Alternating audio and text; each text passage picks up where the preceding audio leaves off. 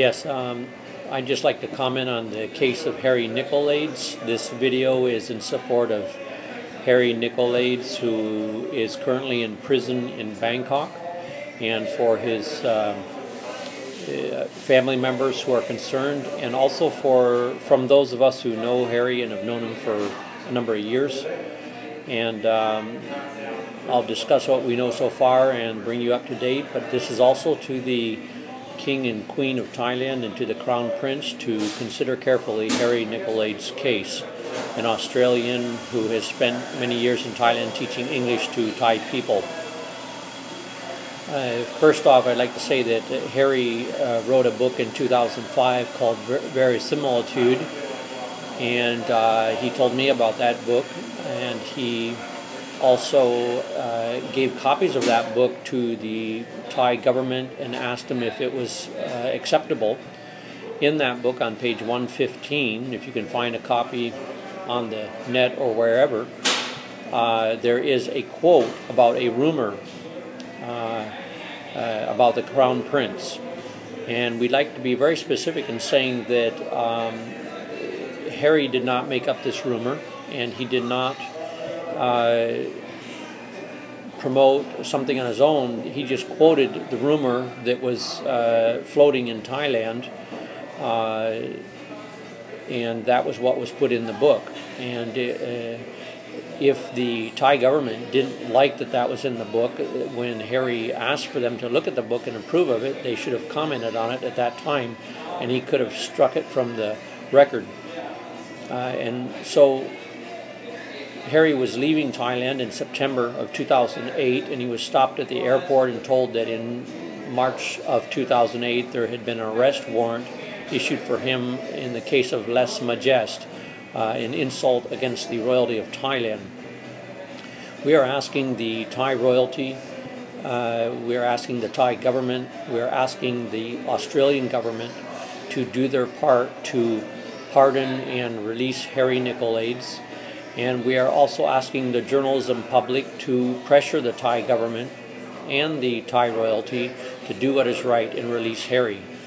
Harry's been in prison since September 2008. He went on the 19th of January 2009 to court after having been repeatedly refused bail, and he was sentenced to three years in prison for insulting the monarchy and uh, we think that the monarchy could spend their time uh, taking uh, care to people who are in Thailand who do real damage to the country, uh, to the many people in Thailand who abuse the uh, hospitality of the Thais and take advantage of Thai people and take advantage of Hill Tribe people.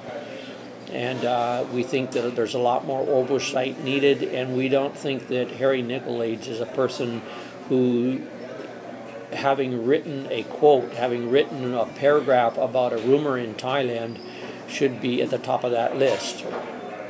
So we're asking the Australian government to do more. We really think they haven't done much at all to protect uh, freedom of speech, which is an international human right. Uh, in the case of uh, Harry Nicolaides, uh, we really don't think that they have uh, championed his case uh, that would be considered ridiculous if it was in Australia or the United States or other Western countries and in most other third world countries. Um, we also think that uh, the Thai Navy has recently hauled out Rohingya refugees to sea and allowed them to drown and die of thirst and starvation in the hundreds and uh, we think this is more of a crime, and it's an immense crime, and we think it's offensive that the U.S. government would continue to go ahead with Cobra Gold exercises with Thailand when they behave in this fashion. So let's just compare those two events. Harry Nicolaides writes a paragraph in a book, he goes to prison. The Thai Navy hauls Rohingya refugees out to sea and they die in the hundreds. Nothing's done about it. Uh, so uh, we know that the family in uh, Europe is concerned about Harry. Um, Harry's been a friend to the Akha people. Harry's been a friend of mine for a number of years. Uh, And we just are here to come to his defense and ask for his immediate release. And we're also asking that the law lese majest, which can be brought by anybody in Thailand against another individual, we ask that that law be overturned, that the King of Thailand do the right thing, and that he put an end to this draconian law. Uh, and that he claimed responsibility for the fact that it exists in the first place. And we'd like to see it turned over, um, and we'd like to see freedom of speech protected in Thailand for Thai people and for people visiting Thailand. And it's a very basic human right, and we think it's time that the Thai government uh, followed the norms, the patterns in the world to let people say what they want and in, increase the amount of transparency by letting people uh, compete with ideas. And for Harry, we hope that you're released soon, and we hope that the government and monarchy of Thailand will do the right thing and see to that immediately. Thank you.